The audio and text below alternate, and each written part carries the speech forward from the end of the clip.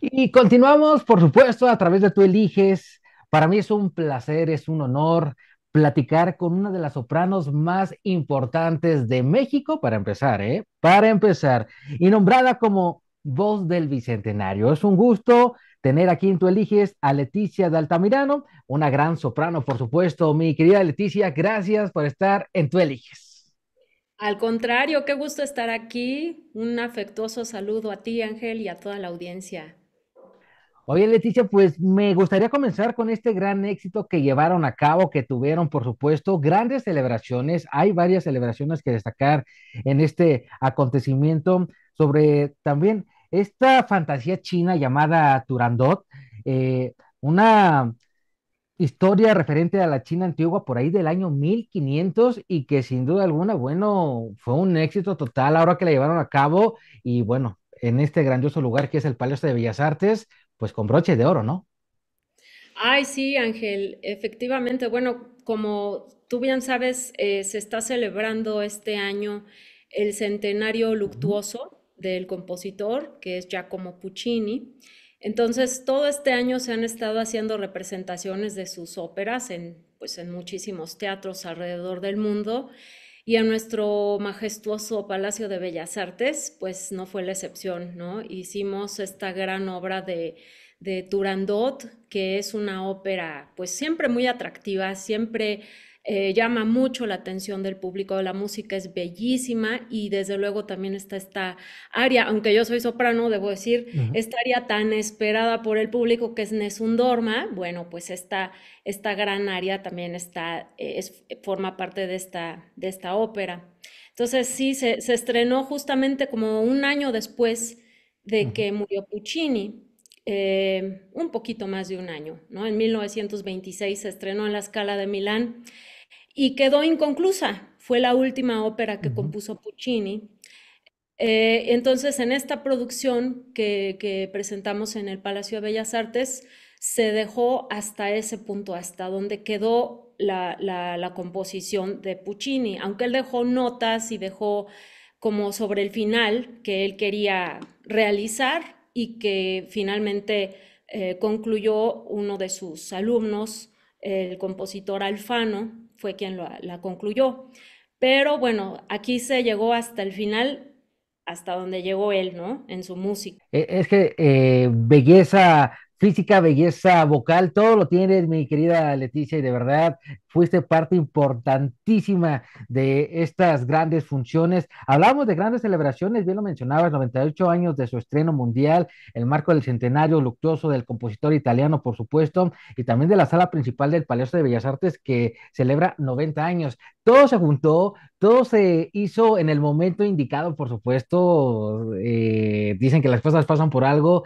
Y bueno, veíamos todas estas eh, aventuras maravillosas que compartías a través de redes sociales, el Palacio de Bellas Artes, la fidelidad, del público, eh, cómo narrabas entre actos y hacías partícipe a toda esta gente que quería verte ahí con esta maravillosa voz, Leticia.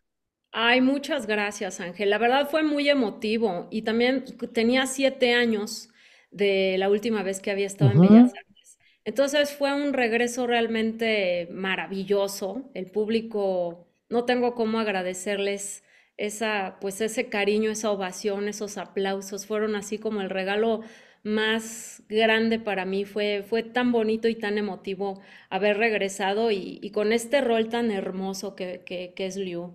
Entonces, no, hombre, yo feliz y claro, estoy compartiendo constantemente, como bien Sí. dices, en redes, así que síganme por favor para seguir compartiéndoles todo lo que venga y poder estar comunicados.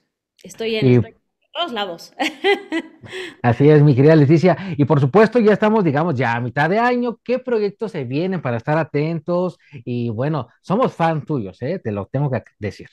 Ay, Ángel, muchas gracias. Igualmente, y estoy feliz de estar aquí, de verdad. Muchas, muchas gracias. Pues bueno, hacia la segunda parte del año, ahorita tengo vacaciones, es verano, entonces eh, voy a estar un poco más tranquila.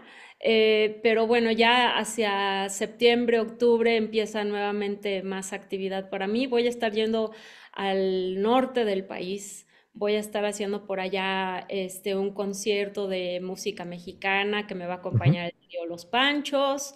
Eh, y voy a estar también haciendo una gira de conciertos con el tenor Ramón Vargas.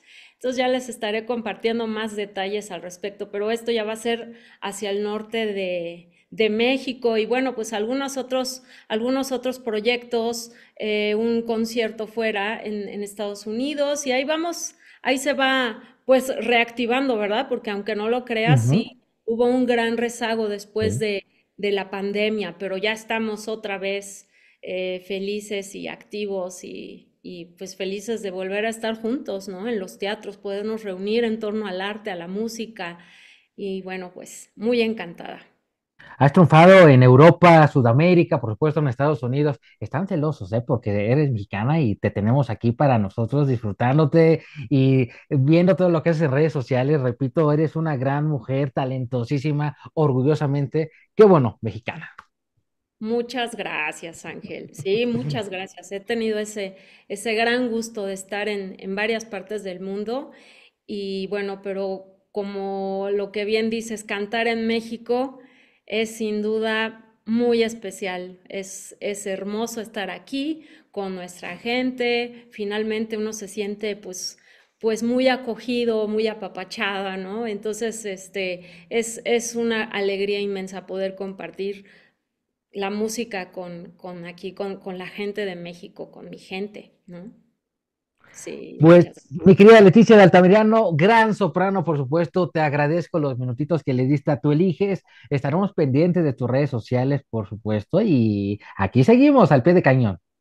Te agradezco muchísimo, Ángel. Un fuerte abrazo y un afectuosísimo saludo a toda la audiencia. Muchas gracias. Ya lo escucharon y por supuesto nosotros seguimos a través de Tú Eliges. Gracias también a mi querido Benjamín Arroyo por el enlace. Regresamos.